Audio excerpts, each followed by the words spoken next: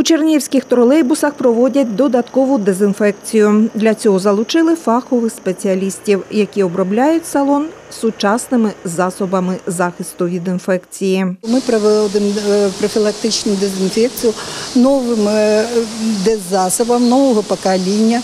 Е, Це складі четвертичної амонійної сполуки, інгібітори корозії, аміни. Плюси тому, що він не має запаху, що він е, володіє миючими, дезінфікуючими, дезодоруючими властивостями. І після витримки експозиції е, настає пролонгована противомікробна дія і не потребує змивання. Після такої санітарної обробки транспортний засіб буде безпечним протягом доби. Розчин знищує будь-яку інфекцію, яка могла потрапити до салону, запевняє Галина Губенко. Такі додаткові заходи на ЧТУ проходять згідно з наказом начальника управління транспорту та зв'язку міської ради і мають запобігти поширенню коронаінфекції.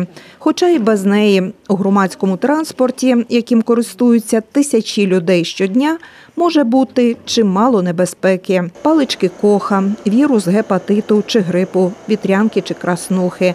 Від цих інфекцій ніхто не застрахований. Для того, аби обезпечити пасажирів, щотижня 75 тролейбусів та 10 автобусів проходять через мийку, запевняє керівник ЧТУ.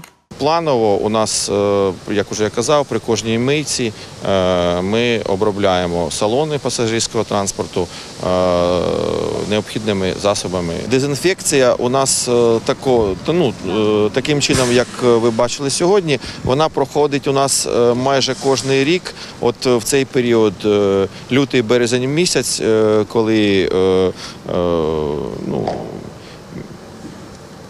міською владою як во- вводяться такі карантинні заходи. Силами працівників салони і до цього обробляли з хлорними засобами щотижня, а на кінцевих зупинках їх провітрюють.